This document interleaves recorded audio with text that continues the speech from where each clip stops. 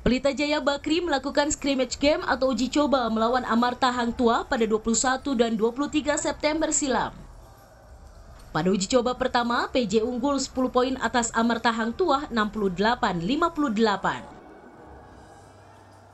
Sementara pada uji coba kedua, PJ harus mengakui keunggulan Amarta Hang Tua 57-59. Hasil ini diapresiasi pelatih Oki Tamtela Hitu.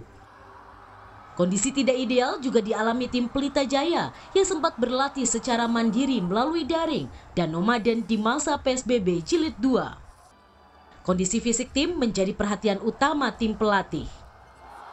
Kita memang betul-betul apa ya eh, memaksakan diri kita sendiri gitu ya dari datahannya dari segala fisiknya gitu. Jadi misalnya jantung paru, eh, sendi-sendi apa semua pada mulai uh, terasa gitu karena kan uh, persiapan yang minim gitu dari sisi waktunya gitu.